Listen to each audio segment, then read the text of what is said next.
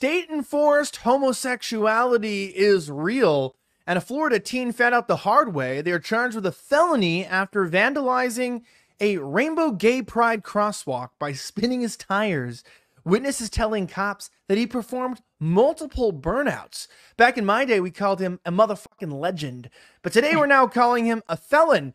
And because we cannot desecrate the LGBTQ flag, because our holy people whom we love, who only add great things to this environment, like HIV, the proliferation of other sexually transmitted diseases, and of course, child molestation, I wanted to celebrate the LGBTQ community today by looking at the greatest examples among us with a short video. Brian, let's play the video.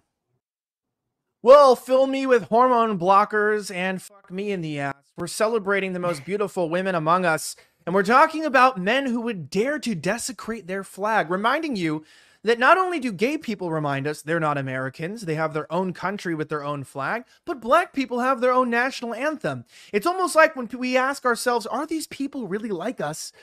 Well, they answer the question themselves. But it looks like the transgender community in the United States, it, they're trying to get made fun of. And that's unfortunate because everyone knows the slightly offensive is the greatest supporter of LGBTQ rights. We want nothing more for these people but to thrive in their own land. We don't just love Israel and want Israel to exist. We want everyone to have their own country, including black people.